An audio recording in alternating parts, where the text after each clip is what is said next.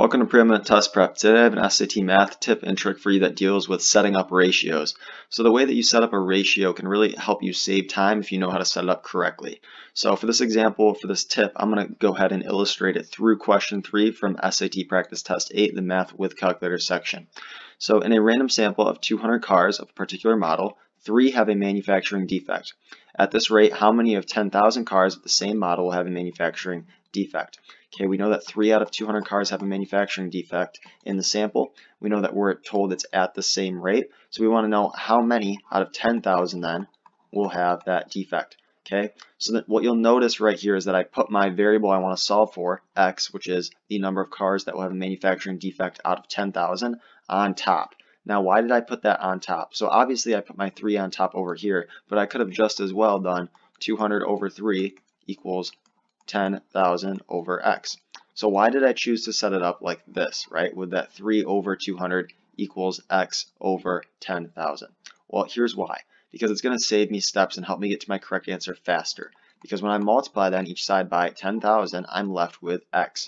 So we notice that all I had to do is multiply each side by 10,000 to get my answer. Because now I have 3 times 10,000 over 200. I plug that in my calculator, and that's going to give me 150. So I know that x then has to equal 150, so my answer will be A. Okay, so why does setting it up like this with the variable that I want to solve for on top save me time? Well, I'll go ahead and show you. If I was to set it up with the variable I want to solve for on the bottom in my denominator, then I have to multiply each side by x. Okay, so that's one step. Then I have to multiply each side by 3. Okay, so now I've got 3 times 10,000. Then I got to divide each side by 200. So what you notice there is that there were two more steps at least in solving this problem, right? So look at how much more work that bottom one is versus just multiplying by the denominator um, that is below my numerator of x, okay? So look at how many more steps this bottom setup is versus the top.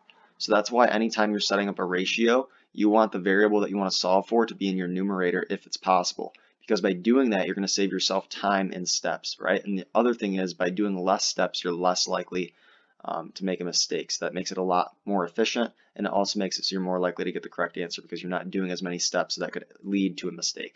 So anytime that you're asked to solve for something dealing with ratios like this, try to put the variable that you want to solve for on top in your numerator and that'll help you save time on the SAT math section. So as always, hopefully that was helpful. If it was, make sure to like, share, and subscribe. I have a 90-day SAT prep course available on my channel. You can find that on the playlist section of my channel if you're looking for that as well. As always, make sure to have a great day.